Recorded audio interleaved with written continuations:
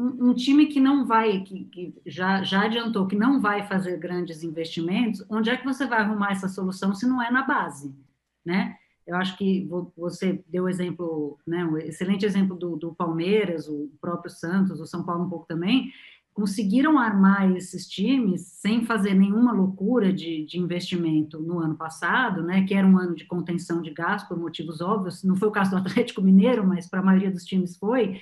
é, você foi buscar na base, montou um time ali, eu acho que não dá para montar um time só de garotos, né, você precisa ter ali né, uns alicerces, uns jogadores de peso para poder equilibrar,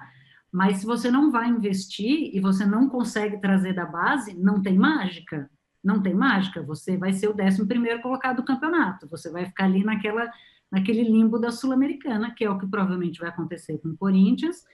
e que se não houver contratações, e como você disse, não tem uma grande revelação,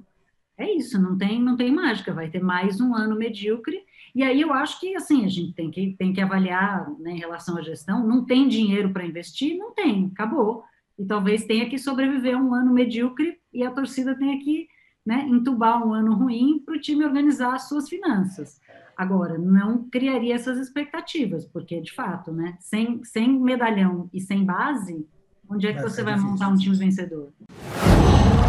Qual